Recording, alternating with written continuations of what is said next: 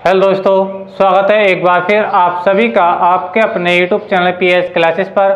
तो दोस्तों, जैसा कि आप लोग जानते हैं कि जो छात्र कक्षा 11 में ए एम यू या जामिया में एडमिशन लेना चाहते हैं तो हम उन छात्रों के एंट्रेंस एग्ज़ाम के लिए द कॉन्सेप्टम वाली बुक का सोल्यूशन करा रहे हैं। ठीक है स्टैंड तो और हमने इस बुक से सबसे पहले हम मैथमेटिक्स को कवर कर रहे हैं। ठीक है, यानी हम मैथमेटिक्स वाला पोर्सन पहले हम पढ़ रहे हैं। तो इससे पिछले वीडियो लेक्चर तक आप लोगों ने देखा होगा स्टैंड कि हमने इस बुक के दो लेसन कवर कर लिए हैं। पहला लेसन था आपका संख्या पद्धति और दूसरा लेसन था आपका बहुपद, ठीक है?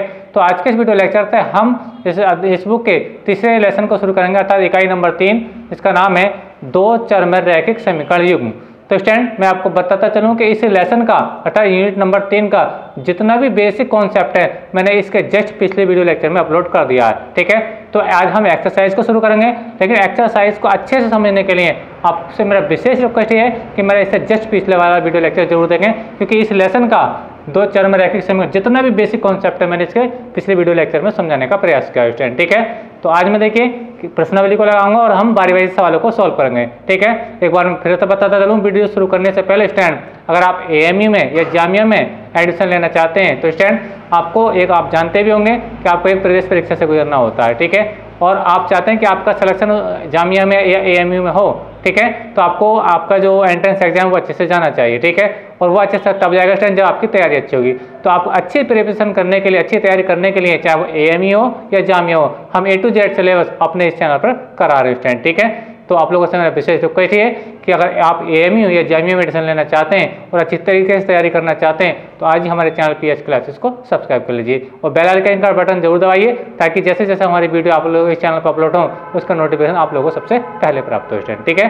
तो आइए लगाते हैं आज पहले सवाल को। तो देखिए, सवाल नंबर एक को हम सॉल्व करने से पहले स्टैंड ठीक है? थोड़ा इस चैप्टर का मैंने जो बेसिक बात समझा तो मैंने पिछले लेक्चर में दिया है, लेकिन मैं फिर भी समझाने का प्रयास करता हूँ। जैसे कि आपको दो समीकरण मिलती हैं, देखिए अभी क्वेश्चन है मैं बेसिक बता रहा हूँ। A one X plus B one Y plus C one बराबर ज़ीरो और दूसरे समीकरण है A two X plus B two Y plus C two बराबर ज़ीरो ठीक है? इस प्रकार के आपको दो समीकरण मिलेंगे। स्टैंड ठीक है? अब इन समीकरणों में क्या देखिए, इनसे क्या इसका रिलेशन है? जब इन समीकरणों से हम इसका रेशियो का अनुपात निकालेंगे A one upon A two जैसे मैं निकालने प्रयास करता हूँ कि A one upon A two और is not equal B one upon B two यानी अगर मैं इनका अनुपात निकालता हूँ और ये A one upon A two B one upon B two बराबर नहीं आता है, नहीं आता है तो ये क्या होंगी? ये हमेशा प्रतिच्छेदी रेखाएँ होंगी। ठीक है? इस बात को याद रखना। यानी जब A one upon A two B one upon B two के बराबर नहीं होगा तो ये रेखाएँ कैसे होंगी आपकी? प्रतिच्छेदी रेखाएँ होंगी। कैसे होंगी बेटा? प्रतिच्छेदी रेखाएँ होंगी। ठीक है? अच्छा इसमें दूसरी बात और याद रखने की क्या होती है? जब ये संबंध आपका बनता है, यानी प्रतिच्छेदी रेखाएँ आपकी अगर प्राप्त होती हैं, ठीक है? तो उसके लिए दूसरी बात ये होगी कि उनका एक अद्वितीय हल होता है। दूसरा इसमें पॉइंट याद करने का ये है कि प्रतिच्छेदी रेखाओं का केवल एक और एक आदित्य हल होता है। ठीक है, एक से ज़्यादा हल नहीं होते हैं। ठीक है, ये मैंने कल बेसिक में भी समझाया था और आज मैं एक्सरसाइज को कर रहा हूँ शुरू। ठीक है, उसको लिए भी आज मैं समझा रहा हूँ आपको। ठीक है, और तीसरी बात इसके अंदर याद रखनी होती है बेटा कि जो प्रतिच्छेदी रेखाएँ हैं, ठीक है, उनका एक अद्वितीय हल तो होता है और तीसरी कंडीशन इसमें ये होती है कि वो संगत होती हैं और अविरोधी होती हैं। यानी प्रतिच्छेदी रेखाएँ आपकी कैसी होती हैं, संगत और अविरोधी होती हैं। ठीक है? तो जब भी आपको ये वाला रिलेशन बनता दिखे स्टैंड ठीक है? इसी से, ऐसी समीकरणों की सहायता से, ठीक है स्टैंड तो वो अगर ये प्रतिबंध बनता है, ठीक है? A one upon A two is not equal B one upon B two तो रेखाएँ कैसे होंगी? प्रतिच्छेदी होंगी और उनका एक अद्वितीय हल होगा, ठीक है? और वो संगत और अविरोधी होंगी। तो इनके लिए तीन बातें आपको याद रखनी होंगी स्टैंड ठीक है? अच्छा बात करते हैं पॉइंट नंबर दो इसमें क्या है? अगर हम इस रेखाओं से देखें, अगर हम अनुपात निकालें A one upon A two और ये मान लीजिए B one upon B two और बराबर C one upon C two अगर ये रेशो बिल्कुल बराबर आया तीनों का तो बेटा जैसे ये देख रहे हैं आप लोग तो ये रेखाएँ हमेशा कैसी है संपाती रेखाएँ कहलाती हैं। क्या कहलाती हैं बेटा? संपाती रेखाएँ कहलाती हैं। अगर ये रेशो आपका बराबर आएगा तो आप उसको क्या कहेंगे? वो रेखाएँ कैसी होंगी? संपाती होंगी। इसके लिए एक बात तो ये याद रखने की कि ये रेखाएँ इस अनुपात को जब देखेंगे, अगर इक्वल आया तीनों का तो वो संपाती रेखाओं को प्रदर्शित करेगा। दूसरी बात इसके अंदर याद रखने की बेटा ये है कि जो आपकी संपाती रेखाएँ होती हैं, वो कैसी होती हैं? इन रेखाओं का अपरिमित रूप से अनेक हल होते हैं मतलब इनके बहुत सारे हल होते हैं। ठीक है, इस बात को याद रखना, प्रतिच्छेदी रेखाओं का केवल एक अद्वितीय हल होता है, केवल एक अद्वितीय हल, लेकिन संपाती रेखाओं का अपरिमित रूप से अनेक हल होते हैं, अर्थात इनके बहुत सारे हल होते हैं फ्रेंड ठीक है? तो दूसरी बात तो ये याद याद रखनी है। तीसरी बात इसमें याद ये रखनी है बच्चों, कि अगर ये रिलेशन मिला तो रेखाएँ कैसे होंगी? संपाती होंगी। इनके अपरिमित रूप से अनेक हल होंगे। तीसरी बात यह है कि ये रेखाएँ क्या होती है? संगत और अविरोधी होती हैं। संगत और अविरोधी होती हैं, यानी ये चीज़ के अंदर दोनों में कॉमन आ रही है। ये देख रहे हैं कि प्रतिच्छेदी रेखाओं में ये जो पॉइंट है, संगत अविरोधी और संगत अविरोधी बिल्कुल कॉमन है स्टैंड ठीक है? आई आपके समझ में आ रहा होगा स्टैंड ठीक है? अच्छा एक बार फिर से बता रहा हूँ कि अगर दो समीकरणों से A A one B one A two B two C two C one upon C two ठीक है? इनके रेशियो अपन बराबर आ रहे हैं, ठीक है स्टैंड तो ये रेखाएँ कैसे होंगी? संपाती रेखाएँ होंगी और उनके अपरिमित रूप से अनेक हल होंगे और वो संगत और अविरोधी होंगी, ठीक है? अच्छा तीसरी बात ये रखने की है, तीसरी प्रकार की बात ये बेटा, कि अगर a one upon a two b one upon b two अगर ये c one upon c two लगा रहा है जैसे मान लीजिए, ये दोनों तो बराबर आए, लेकिन ये बराबर नहीं आया। ये रेखा बराबर नहीं आएगा, ठीक है? जब ये वाला प्रतिबंध आपको मिलेगा तो रेखाएँ कैसी होंगी? समांतर होंगी। रेखाएँ कैसी होंगी बेटा? समांतर होंगी, ठीक है? और जब समांतर रेखा होती है तो उनका कोई हल नहीं होती। नोट नोट करिए चीज़ को ध्यान समझे, समांतर रेखाओं का कोई हल नहीं होता है। देखिए प्रतिच्छेदी रेखाओं का एक हल होता है और इस संपाती रेखाओं के अनेक हल होते हैं, ठीक है? जबकि समांतर रेखाओं का कोई हल नहीं होता, इस बात को याद रखना। और तीसरी बात इंपॉर्टेंट बात यह है इसके अंदर, तीसरा पॉइंट इसका याद करने का यह है कि जो समांतर रेखाएँ होती हैं, वो कैसी होती हैं? असंगत होती हैं और विरोधी होती हैं। जबकि इन दोनों में ऐसी कंडीशन नहीं थी। प्रतिच्छेद रेखाएँ कैसी? संगत और विरोधी। संपाती रेखाएँ भी कैसी होती हैं? संगत और अविरोधी, संगत और अविरोधी, संगत और अविरोधी। लेकिन क्या होता है? समांतर रेखाएँ जो होती हैं, यानी जो इस टाइप से होती हैं, ठीक है स्टैंड? ये ये कैसी होती हैं? असंगत होती हैं और विरोधी होती हैं, ठीक है स्टैंड? तो उम्मीद करता हूँ कि ये बात आपको समझ में आ चुकी होगी। अब देखिए मैं क्वेश्चन को सॉल्व कर रहा हूँ, तभी आपको समझाने, समझ में आएगा कि मैंने क्या समझाने का प्रयास किया। चलिए, बात करते हैं क्वेश्चन नंबर एक की। तो देखिए क्वेश्चन नंबर एक हमसे कहता है, स्टैंड, देखिए, मैं लगा रहा हूँ क्वेश्चन नंबर एक। क्या है? देखिए क्वेश्चन में क्या आया? हमें दो समीकरण मिली है two x plus three y equal to five हमें मिला two x plus three y ठीक है स्टैंड इजिकल टू फाइव ठीक है? एक समीकरण तो ये है। अब इसको मैं कैसे लिख सकता हूँ? देखिए कैसे लिख सकता हूँ। Three x sorry two x plus three y इस बराबर से इधर है पाँच, इधर को लेकर आइए तो माइनस के पाँच हो जाएगा। माइनस के पाँच बराबर ज़ीरो। ठीक है? मैंने किया कुछ नहीं, इसको तो सेम ऐसी कॉपी कर दिया, जो प्लस का पाँच था, मैंने बारह से लिया तो माइनस के पाँच हो गया। यानी पाँच का पक्षांतर हो गया। ठीक है? पहली समीकरण तो बेटा आपकी ये हुई। ठीक है? अच्छा दूसरी समीकरण क्या है बेटा? आपकी दूसरी समीकरण दी है। Four x plus six y four x plus six y बराबर आपको दे रखा है नाइन कितना रखा बेटा? नाइन दे रखा है। अब देखिए सेम इसी प्रकार से इस नाइन को इधर लेके आएँगे तो माइनस को आ जाएगा। इसको ऐसी कॉपी करिए। Four x plus six y और माइनस से कितना हो जाएगा? नाइन बराबर ज़ीरो। तो ये समीकरण बेटा आपकी कितनी हो गई? दो हो गई स्टैंड ठीक है? अब इन दो समीकरणों में बताना ये है, इसने ये पूछा है कि ये तो दो समीकरण हैं, ये संगत हैं सॉरी असंगत हैं, या इनका द्वितीय हल है, या अपरिमित रूप से अनेक हल हैं, या इनमें से कोई नहीं। अब देखिए, संगत बताने के लिए, असंगत बताने के लिए, अपरिमित रूप से अनेक हल बताने के लिए हमें क्या करना पड़ता है? इन समीकरणों का अनुपात निकालना पड़ेगा। अगर ये कंडीशन आएगी, ठीक है तो प्रतिच्छेदी रेखाएँ होंगी, ठीक है, अगर ये कंडीशन आएगी तो वो संगत रेखाएँ होंगी, ठीक है, और ये कंडीशन आएगी तो वो असंगत होंगी, ठीक है, इस बात को आप समझते हैं। देखिए, पहले अनुपात निकालते हैं। अब निकालेंगे, देखिए a one upon a two a one upon a two equal to अब a one upon a two क्या है? ये आपका ए वन है, ठीक है, और ये आपका जो है, ये क्या आपका ए टू है स्टैंड ठीक है। तो a one upon a two का जो मान आएगा, वो दो बटा चार। दो बटा चार तो दो एक दो दो धनी चार, यानी एक बटा दो आ गया। A one upon a two का, अब निकालेंगे b one upon b two. B one upon b two, ठीक है? ये अब बी वन कौन है? ये आपका बी वन तीन, ये बी वन है, और ये जो सिक्स है आपका, ये क्या आपका? B two. अनुपात निकालिए, तीन अपॉन छः हो जाएगा। तीन बटा छः तो तीन इकन तीन तीन दूनी छः ठीक है? ये भी क्या गया? एक बटा दो आ गया, ठीक है? अब दो अनुपात बराबर आ रहे हैं तो तीसरा भी हमें चेक करना पड़ेगा। अब निकालेंगे c one upon c two तो ये कौन है आपका?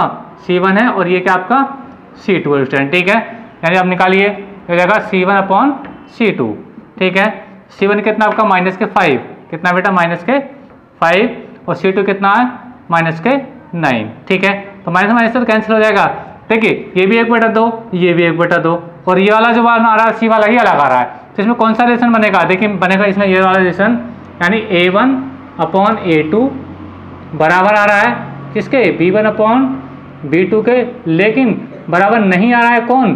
C one upon c two ठीक है स्टैंड यानी ये कंडीशन बन रही है। समझे मेरी बात को। A one upon a two और b one upon b two के मान आ रहे हैं, दोनों एक बटा दो आ रहे हैं। यानी मैंने बराबर लिख दिया। लेकिन c one upon c two कह रहा है, पाँच बटा नौ आ रहा है। यानी ये एक बटा दो, एक बटा दो। लेकिन ये कितना पाँच बटा नौ। तो ये वैल्यू तो बराबर नहीं आ रही स्टैंड ठीक है? और जब ये बराबर नहीं तो ये देखिए कौन सा संबंध बनेगा? ये बिल्कुल नहीं है, ये बिल्कुल नहीं है, लेकिन हाँ ये वाला संबंध बन रहा है। ये वाला संबंध बन रहा है। तो ये रेखाएँ कैसी होंगी? समांतर होंगी। ठीक है, लेकिन इसमें ऑप्शन में चेक कराता हूँ। ऑप्शन में कैसे दिया है? ऑप्शन में दिया है असंगत। ठीक है तो आपको क्लियरली हो रहा है, देखो असंगत इसी मारा ये भी संगत होता है, ये भी संगत होता है। ठीक है, यानी ये क्या होंगी? हमेशा ये दोनों रेखाएँ कैसी होंगी? असंगत, यानी ऑप्शन नंबर ए इसका बनेगा। बाकी तीन ऑप्शन और बता रहा हूँ। देखिए, पहला ऑप्शन था इसका असंगत। दूसरा था इनका अद्वितीय तो इनका अद्वितीय होने के लिए तो ये वाली कंडीशन होती तो वो तो बनी नहीं। तीसरा ऑप्शन था अपरिमित रूप से अनेक हल अनेक हल होने के लिए तीनों सेम आने चाहिए थे, क्योंकि अपरिमित रूप से अनेक हल यानी ये वाली कंडीशन होनी चाहिए थी ये भी नहीं है, ठीक है? और क्या है आपका? इनमें से कोई नहीं, ठीक है? तो पहला ऑप्शन बन रहा है, असंगत रेखाएँ, ठीक है? और ये हम कैसे इस अनुपात को देखकर ही बता पा रहे हैं कि ये असंगत रेखाएँ, और जो असंगत होती हैं, वो समांतर रेखाएँ होती हैं। और समांतर रेखाओं का कोई हल नहीं होता है। तो इस इस संबंध के लिए आपको तीन बातें याद करनी पड़ेंगी, ठीक है, स्टूडेंट? तो उम्मीद करता हूँ कि आपको समझ आएगा यानी जब ये वाला रेशो बनेगा तो ये रेशो किसके लिए होता है? असंगत रेखाओं के लिए होता है। यानी इसका ए ऑप्शन बिल्कुल राइट है। क्वेश्चन नंबर ये एट था स्टैंड एक्सरसाइज है और इसका ए ऑप्शन बिल्कुल राइट है। असंगत रेखाएँ ठीक है? उम्मीद करता हूँ कि समझ में आपको आया होगा। चलिए बात करते हैं क्वेश्चन नंबर दो की। देखिए क्वेश्चन नंबर दो कैसे सोल्व करेंगे और क्या इसके अंदर पूछा गया है। लगाते हैं सवाल को। देखिए क्वेश्चन नंबर दो। क्वेश्चन नंबर दो है, देखिए, इधर काट टू है sorry x question number two में दिया हमें एक्स प्लस टू बाई ठीक है? और ये, इसको इधर लेंगे तो ये छः हो जाएगा, बराबर ज़ीरो ठीक है, समीकरण एक है। और दूसरी समीकरण है बेटा आपकी, देखिए, मैं लिख देता हूँ दूसरी समीकरण को। ये है three x plus six y और ये माइनस है कितना आपका? अट्ठारह बराबर ज़ीरो ठीक है? यानी छः उधर था, उस साइड मैंने इधर ले लिया, ठीक है? ये अठारह उधर था, मैंने इसको इधर ले लिया, ठीक है? अच्छा अब देखिए, मान कैसे निकालेंगे? ये देखिए एक्स गुणांक कुछ नहीं है, यहाँ वन मान लेते हैं समझने के लिए केवल, ठीक है? तो ये यहाँ से ये ए वन, ये आपका ए वन है, ये आपका बी वन है, और ये आपका सी वन है। इसी प्रकार दूसरे समीकरण में, ये आपका ए टू है, ये आपका बी टू है, और ये आपका सी टू है। तो उम्मीद करता हूँ कि ऐसे मान आपको देखना आ गया होगा। एक्स का गुणांक होता है ए वन का मान, पहली समीकरण में बाई का होता है बी वन का मान बाई का गुणांक, और अचर पद क्या होता है? सी वन होता है। ये क्या होता है बेटा आपका? C one. इसी प्रकार दूसरी समीकरण में आते हैं तो एक्स का गुणांक ए टू होता है बाई का गुणांक बी टू होता है और जो अचर पद होता है वो सी टू होता है। ठीक है? तो ये दो समीकरण मेरे पास दे दी। मैंने ये मान आपको निकालना बता दिया। पूछा क्या था? पूछा ये है, बताइए कि रेखाएँ असंगत है मतलब ये रिलेशन बनेगा तो असंगत हो जाएँगी। फिर इसने कहा, आदित्य हल। तो आदित्य हल होने के लिए वाली कंडीशन बननी चाहिए। ठीक है, जैसा अभी हम अनुपात निकालेंगे इसका। तीसरा है इसका बेटा, अपरिमित रूप से अनेक हल अनेक हल होने के लिए कंडीशन होनी चाहिए और इनमें से कोई नहीं। तो देखते हैं इसका अनुपात निकाल के। तो देखिए, निकालते हैं a one upon a two बराबर। ए वन कितना, देखिए वन है। ए टू कितना ए टू आपका बेटा तीन है। तो ये तो एक बेटा तीन आ गया। अच्छा आप निकालते हैं b one upon b two b one upon b two ठीक है तो बी वन कितना आपका दो है बेटा। कितना है? दो। और बी टू कितना आपका छः इसको सोल्व कर दीजिए, दो एकन दो दो तीन छः यानी ये कितना आ गया आपका? ये आ गया आपका b one upon b two का जो मान आ गया, कुल मिला के ये कितना आ गया? एक बेटा तीन आ गया ये भी, ठीक है? अच्छा देखिए, दोनों अनुपात सेम आ हैं तो मुझे तीसरा भी चेक करना पड़ेगा। निकालते हैं। C one upon c two तो सी वन देखिए क्या सी वन है आपका माइनस के सिक्स ठीक है? और सी टू कितना है? माइनस के अट्ठारह माइनस के अट्ठारह तो माइनस से माइनस कैंसिल हो जाएगा। छः एक छः और छः तीन अट्ठारह यानी ये भी क्या आ गया आपका? एक बटा तीन आ गया। यानी ये वाला अनुपात भी एक बटा तीन, ये वाला अनुपात भी एक बटा तीन, और ये वाला अनुपात भी एक बटा तीन। यानी तीनों का मतलब क्या होगा? कि तीनों में ये वाला रिलेशन बनेगा, क्योंकि ये तो रिलेशन आ रहा है आपका। यानी कहने का मतलब ये है कि a one upon a two बराबर b one upon b two बराबर c one upon c two मतलब ये रिलेशन होता है स्टैंड तो ये इसमें बन रहा है ये रिलेशन इसी में तो बन रहा है। ठीक है? तो इसका क्या होता है? संपाती रेखाएँ ऑप्शन में नहीं दिया है, जो दिया है उसको टेक करना है। इसमें दिया अपरिमित रूप से अनेकल। तो इसका जो दूसरा का सवाल है आपका, इसका सी ऑप्शन ठीक है। कौन सा ठीक है बेटा? सी ऑप्शन अपरिमित रूप से अनेक होंगे। यानी जब आपको ये तीनों अनुपात बराबर मिलते हैं तो इसके लिए क्या होती है? ये रेखा क्या चीज़ संपाती होती है। ठीक है? और संपाती रेखाओं में क्या होता है? अपरिमित रूप से अनेक हल होते हैं। इसका सी ऑप्शन बिल्कुल राइट है। यानी क्वेश्चन नंबर दो में जिसका सी ऑप्शन है सी ऑप्शन बिल्कुल राइट है। अपरिमित रूप से अनेक हल देखिए बच्चों ये हमें इसका अनुपात निकालने पर ही पता चलता है कि रेखाएँ कैसे होंगी उनका कैसा हल होगा। इस बात को हमेशा याद रखें। तीन कंडीशन आपको अपने माइंड के अंदर सेट करनी होती हैं। हर कंडीशन के लिए तीन तीन पॉइंट याद करने होते हैं।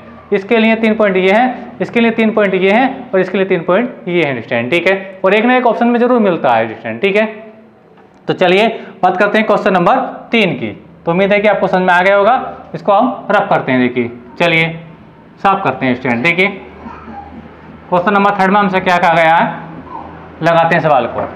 Question number third. इसने कहा है के के किस मान के लिए? दो समीकरण रखी हैं। के के किस मान के लिए?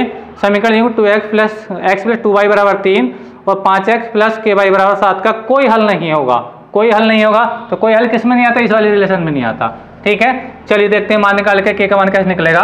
यदि एक्स प्लस टू वाई ये बराबर तीन है। तो इधर आकर तो माइनस के तीन माइनस के तीन हो जाएगा। ठीक है? बराबर? ज़ीरो। एक समीकरण तो ये है। दूसरी समीकरण है बेटा आपकी। Five x plus k y ठीक है स्टैंड और आपका दे रखा है। बराबर सात है, इधर आकर माइनस के साथ हो जाएगा, बराबर ज़ीरो। ठीक है? तो इसमें ये कहा है कि के के किस मान के लिए? यानी इनमें से के का क्या मान होना चाहिए जो समीकरण का कोई हल ना हो? यानी ये वाला रिलेशन आपका बन जाए स्टैंड ठीक है? तो इस रिलेशन को देख कैसे निकालेंगे? तो कोई हल नहीं, यानी ये बात उसने कही कि कोई हल नहीं होना चाहिए। ऐसा के का मान इसमें क्या होना चाहिए? ठीक है, कैसे पता चलेगा? अनुपात निकालते हैं के के मान के लिए। देखिए, पहले निकालेंगे a one upon a two तो अब मैं बता चुका हूँ दो सवालों में, ये ए वन ये ए टू है ना? तो a one upon a two जब मैं निकालूँगा स्टैंड वो कितना आएगा? ए वन ए वन का मान तो आपका वन है? और ए टू का मान कितना? पाँच है। यानी इसमें एक्स से गुणांक ए वन दूसरे में एक्स गुणांक आपका ए टू ठीक है, अब निकालते हैं b one upon b two ये तो हो गया b one upon b two निकालिए वैल्यू बी वन कितना आपका? प्लस का टू है। ठीक है? और बी टू वन कितना? प्लस का के है। ठीक है स्टैंड तो ये अनुपात है आपका दो अपॉन के ठीक है? अब देखिए, अब हमें ये लेसन दिया, ये वाला lesson a one upon a two बराबर b one upon b two ठीक है? अब हम इसी से चेक कर लेते हैं। ठीक है? इसी से चेक करिए। करते हैं, देखिए check a one upon a two बराबर b one upon b two ठीक है स्टैंड अब वैल्यू लगाइए। A one upon a two का मान क्या है? एक बटा पाँच। कितना? है एक बटा पाँच। बराबर? B one upon b two तो बी वन कितना आप वन अपॉन बी टू क्या दो बटे के। अब बच्चे ये सोच रहे होंगे कि हम मैंने ये सी वाला अनुपात क्यों नहीं निकाला? सी वाला अनुपात मैंने इसलिए नहीं निकाला क्योंकि मुझे के की वैल्यू निकालनी है और के का मान मुझे के मुझे यहीं पे मिल गया।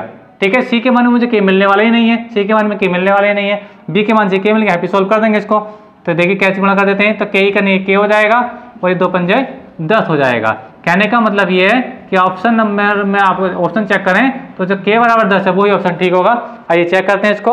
इसका तीसरे का ए ऑप्शन ठीक है के बराबर दस, यानी ए ऑप्शन इसका बिल्कुल राइट है। उम्मीद करता हूँ कि आपको समझ में आ चुका होगा स्टूडेंट ठीक है? अच्छा बात करते हैं क्वेश्चन नंबर फोर की। ठीक है? ये क्वेश्चन नंबर थर्ड था। क्वेश्चन नंबर थर्ड ठीक है? बात करते हैं क्वेश्चन नंबर आप फोर की। चलिए। क्या है? देखिए, सवाल को लगाते हैं। क्वेश्चन नंबर फोर, क्या है देखिए? निम्नलिखित, रैखिक समीकरण युगों में किसका अद्वितीय हल संभव है? अद्वितीय हल के लिए वाली रिलेशन बनता है। अद्वितीय हल के लिए वाला रिलेशन बनता है ठीक है? और देखिए, इसमें ये चार ऑप्शन दे रखे हैं, ठीक है? चलिए, मैं लिख कर दिखाता हूँ। इसका सी ऑप्शन राइट है। सी ऑप्शन देखिए, मैं जो ऑप्शन आपका राइट है उसी को हल करके दिखा रहा हूँ। बाकी को तीन चेक नहीं करेंगे, बाकी तीन गलत हैं। जो आपका सही है, उसी को चेक करके बता रहा हूँ। इसका सी ऑप्शन राइट है उसी को सॉल्व कर रहा हूँ। समीकरण दिया आपको टू एक्स प्लस बाई और ये बराबर से छः बराबर से छः इधर था, इधर लेके आएँगे तो ये माइनस का छः हो जाएगा, बराबर ज़ीरो। ठीक है, दूसरी समीकरण को लिखते हैं। यार आपको इधर रखी है four x minus k two by बराबर से चार इधर है तो इधर आकर माइनस के चार हो जाएगा, बराबर ज़ीरो। ठीक है? अच्छा। अब देखिए चेक कर लीजिए। चेक करते हैं। देखिए, अब यहाँ से वही रेशो निकालना हमें a one upon a two ठीक है? तो ए का मान कितना है? दो। यानी पहली समीकरण में एक्स गुणांक दो है, वो ए का मान होता है। ठीक है? दूसरी में एक्स गुणांक कितना है? चार तो चार हो जाएगा। तो दो एक दो दो दो चार, यानी कितना आ गया? एक बटा दो आ गया। ठीक है? अच्छा। अब इन्हें कहा अद्वितीय हल के लिए मुझे बी वाला भी चेक करना पड़ेगा। तो निकालते हैं b one upon b two b one upon b two तो बी वन का मान कितना है यहाँ पे? यहाँ पे कुछ भी नहीं है बाई का गुणांक। देखिए यहाँ पे बाई का गुणांक कुछ नहीं हो, वन मान सकते हैं। यहाँ बाई का गुणांक कुछ भी नहीं है ना। तो यहाँ क्या मान सकते हैं? वन। तो जगह वन अपॉन ये कितना आपका माइनस के दो, कितना ये? याद रखना, ये क्या? माइनस के दो, ठीक है? तो याद रखें देखिए, ये प्लस का एक बटा दो आ रहा है, प्लस का एक बटा दो आ रहा है, स्टैंड। लेकिन क्या है, माइनस का एक बटा दो आ रहा है। यानी माइनस का तो अंतर आ रहा है कि नहीं आ रहा है? तो ये इससे बिल्कुल अलग है। यानी कहने का मतलब है कि a one upon a two is not equal b one upon b two तो ये जो रिलेशन है, ये केवल इसके सी वाले ऑप्शन में बनेगा। किसमें बनेगा? सी ऑप्शन में बनेगा। बाकी जो तीन ऑप्शन है, बाकी में ये वाला रिलेशन नहीं बनेगा। ठीक है स्टैंड किसी में ये वाला रिलेशन बनेगा, किसी में ये वाला रिलेशन बनेगा। ये बात समझ में आ रही है? लेकिन ये जो वाला जो ऑप्शन बनेगा, प्रतिच्छेदी रेखाओं के लिए जो कहा है यानी अद्वितीय हल के लिए जो कहा है, ठीक है? वो किसमें बनेगा? इसमें बनेगा। यानी जो आपका सी ऑप्शन है, इन समीकरण युग्मों का एक अद्वितीय हल होगा। वो कैसे पता चला? वो इसका अनुपात निकाल के। क्योंकि ये चीज़ें बराबर नहीं आएगी इसलिए ज़्यादा अंतर किसका है? इससे माइनस का अंतर है। यानी कहने का मतलब है, ये तो आ रहा है आपका एक बटा दो, ठीक है? लेकिन ये इधर वाला जो आ रहा है, एक बटा ये माइनस के दो आ रहा है, इसलिए इसके बिल्कुल बराबर नहीं है ठीक है? उम्मीद करता हूँ कि आपको समझ में आ चुका होगा, ठीक है? बात करते हैं क्वेश्चन नंबर फाइव की। चलिए क्वेश्चन नंबर फाइव को लगाते हैं। क्वेश्चन नंबर फाइव क्या कहता है? देखिए question number five question number five में कहा गया बच्चों हमसे के के किस मान के लिए? के के किस मान के लिए समीकरण निकाय x plus two y minus k one बराबर ज़ीरो पाँच x plus k y plus सात का कोई हल नहीं होगा। और कोई हल नहीं होगा, वो किसमें नहीं होता? इसमें नहीं होता। ये भी मैं आपको बता चुका हूँ। इसके लिए क्या होता है? ए वन अपन ए टू बराबर होता है b one upon b two के। चलिए मैं सॉल्व करके दिखा रहा हूँ। क्वेश्चन नंबर फाइव देखिए, क्या दिया पहला समीकरण? X plus two y minus k one बराबर ज़ीरो दिया है। ये पहला समीकरण आपको दिया, बच्चों। और दूसरा समीकरण क्या दिया? देखिए उसको लगाता हूँ मैं। पाँच x plus k y plus k सात, बराबर ज़ीरो। ये दो समीकरण दी है, ठीक है? इसमें ये कहा है कि के के किस मान के लिए? यानी के की वैल्यू बतानी के की वैल्यू के लिए चार ऑप्शन है। के का मान दस होना चाहिए छः होना चाहिए, तीन होना चाहिए, या फिर चार होना चाहिए। कौन सा ऑप्शन ठीक है, उसको चेक कर लेते हैं अभी स्टूडेंट ठीक है? चलिए। अब इन्हें कहा है कि कोई हल नहीं होना चाहिए तो कोई हल नहीं होना चाहिए, इसके लिए क्या होता है? ए वन अपन ए टू बराबर होता है b one upon b two के। तो देखिए, पहले मुझे रेशियो निकालना पड़ेगा, क्योंकि ये वाली कंडीशन है, कोई हल नहीं होना चाहिए। इसके लिए संबंध देखते हैं। अब देखिए लिखा है a one upon a two ठीक है? चलिए, मैं और अच्छा तरीके से करके दिखाता हूँ इसको। B one upon b two ठीक है? चलिए, अब इसका रेशियो निकालो। अब यहाँ देखिए, यहाँ पे कुछ नहीं है। एक्स वन है तो ये क्या आपका? वन। ए टू का मान कितना? पाँच। ठीक है स्टैंड बराबर। बी वन कितना है? बी वन आपका दो। ठीक है? बी टू कितना है आपका? के बात से समझे मेरी बात, ये आपका ए वन है, ये आपका ए टू है सॉरी बी टू है, और ये आपका माफ़ कीजिएगा, ये आपका ए वन है, ये आपका बी वन है, और ये आपका सी वन है। इसी प्रकार, ये आपका ए टू है, ये आपका के जो है, ये बी टू है, ठीक है? और ये जो आपका सेवन ये आपका सी टू है। उम्मीद है कि आपको समझ में आ रहा होगा। पहली समीकरण था a one b one c one ठीक है? A two b two c two अब आप सोच रहे हैं कि मैंने आगे सी वन का अनुपात क्यों निकाला इसके लिए ये वाला? ठीक है, क्यों निकाला? क्योंकि मुझे के की वैल्यू निकालनी है तो के मुझे यहाँ भी प्राप्त हो रहा है। ठीक है? यानी बी के मान मिल रहा है तो इसको मैं आगे सॉल्व करूँगा। तो ये के कन कितना हो जाएगा? के हो जाएगा। और ये कितना हो जाएगा? दो पंजे दस हो जाएगा। तो इसका जो ऑप्शन है, दस, आप देखते हैं के का मान कितना हो चाहिए दस। ऑप्शन लगाते हैं। ऑप्शन दिया ए यानी आपका पाँचवें सवाल का ए ऑप्शन राइट है। ए ऑप्शन बिल्कुल राइट है। ठीक है? यानी के का मान 10 होगा तो समीकरण का कोई हल नहीं होगा स्टूडेंट ठीक है? तो उम्मीद करता हूँ बच्चों की ये चीज़ आपको समझ में आई होगी। तो आज के वीडियो लेक्चर में बस बेटा इतने ही सवालों को सॉल्व करेंगे, ताकि वीडियो ज़्यादा लेंथी ना हो जाए। लेकिन आगे के लेक्चर में हम इससे ज़्यादा सवालों को अटेंड करेंगे। तो अगले वीडियो मिलेंगे। अगर वीडियो आपको अच्छा लगा तो वीडियो को भी लाइक कीजिए शेयर कीजिए और कमेंट कीजिए। और चैनल पर नहीं तो चैनल को सब्सक्राइब भी कर लीजिए, यदि आप ए एम या जामिया मेडिसन लेना चाहते हैं तो। मिलेंगे अगले वीडियो में। तब तक के लिए धन्यवाद।